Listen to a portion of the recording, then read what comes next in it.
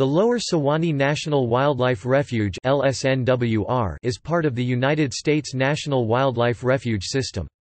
It is located in southeastern Dixie and northwestern Levy counties on the western coast of Florida, approximately 50 miles southwest of the city of Gainesville. The 53,000-acre (210 square kilometers) wildlife refuge was established in 1979 to protect one of the largest undeveloped river delta systems in the United States. It includes 20 miles 32 kilometers of the Suwannee River estuary and 20 miles 32 kilometers of coastline. The constant influx of nutrients from the Suwannee River combined with numerous offshore islands and tidal creeks create excellent wildlife habitat which supports kites, bald eagles, manatees, sturgeon, deer, and turkeys, to name but a few of the species which take refuge there. For tourists, the refuge offers bird and wildlife observation, wildlife photography, fishing, canoeing, hunting, and interpretive walks. As of 2005, a wildlife driving tour is under construction and several boardwalks and observation towers offer views of refuge wildlife and habitat.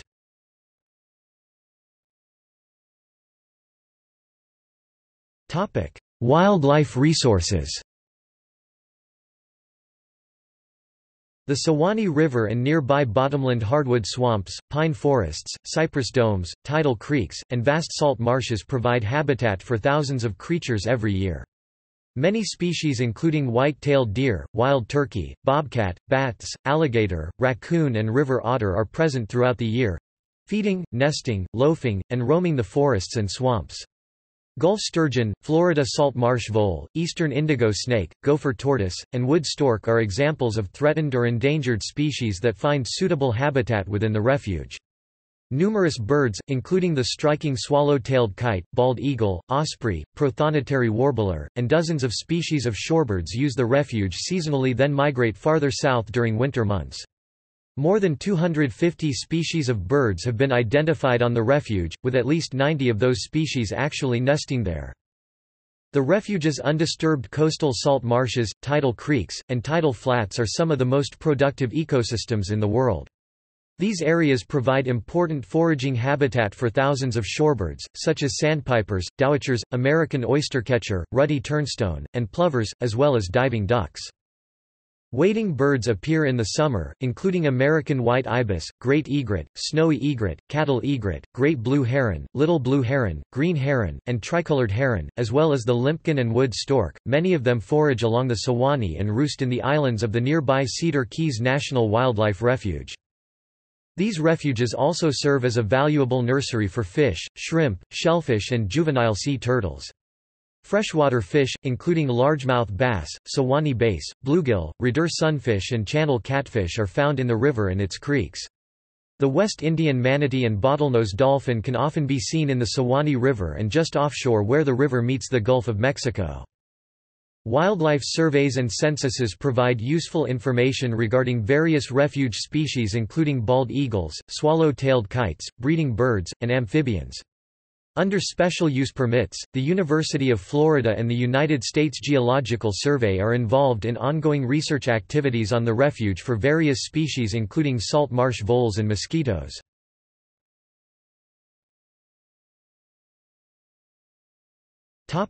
Human historical significance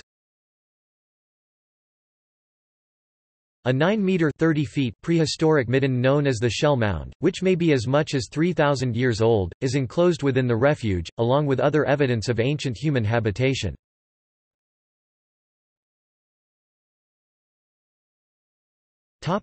Habitat management Before the Lower Suwannee National Wildlife Refuge was established, much of the area was under commercial timber management, first by Putnam Lumber Company in the early 1900s, then by a succession of other timber and paper companies, notably Georgia Pacific and Packaging Corporation of America. In the late 20th century, efforts were initiated to restore many of these areas to a more natural, pre-exploitation condition. Acres of loblolly pines were cruised, marked and selectively thinned, and in some cases clear-cut to move toward reforestation to a native sandhill community of longleaf pine and wiregrass.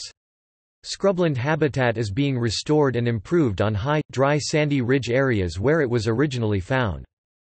In 2001, a conservation easement on the nearby California swamp was acquired by the Suwannee River Water Management District, improving habitat preservation throughout the area. 1. Wildfires from lightning strikes have always occurred naturally throughout much of the United States and is a critical component of many Florida ecosystems. Many species of wildlife such as the Florida scrub jay depend on fire to sustain their habitat. Today, many of those fires cannot be left to burn unmanaged due to development. The United States Fish and Wildlife Service is one of many agencies that use prescribed fire to mimic natural fires in a controlled manner. Fire lines are established with heavy equipment, trained personnel operate under a specific plan, and fires are intentionally set to help reduce hazardous fuels in the wildland-urban interface, replenish nutrients into the soil, and control vegetation by reducing undesirable species or vegetation heights. The goal is to burn areas that need fire every two to five years to maintain optimum habitat conditions. At times, the refuge water management activities i.e. controlling water levels with man-made structures such as culverts create additional seasonal habitat for wading birds. Due to tidal influence, this activity is not often needed.